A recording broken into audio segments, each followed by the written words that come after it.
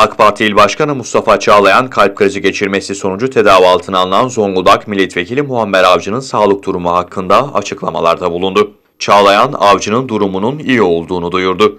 Mustafa Çağlayan'ın açıklaması şu şekilde. Zonguldak Milletvekilimiz Sayın Muammer Avcı, Türkiye Büyük Millet Meclisi'ndeki çalışmaların ardından bu sabah döndüğü kentimizde yaşadığı sağlık sorunları nedeniyle Zonguldak Bülent Ecevit Üniversitesi Tıp Fakültesi Hastanesi'ne başvurmuştur. Yapılan tetkikler sonucunda kalbi besleyen ana damarlarından birinin tıkalı olduğu görülmüş ve balon işlemiyle açılıp stent takılmıştır. Milletvekilimiz Sayın Muammer Avcı'nın tedbir amaçlı tutulduğu yoğun bakım servisine tedavisi devam etmektedir. Milletvekilimizin genel durumu çok şükür iyidir. Kendisine geçmiş olsun der, Rabbimden acil şifalar dilerim.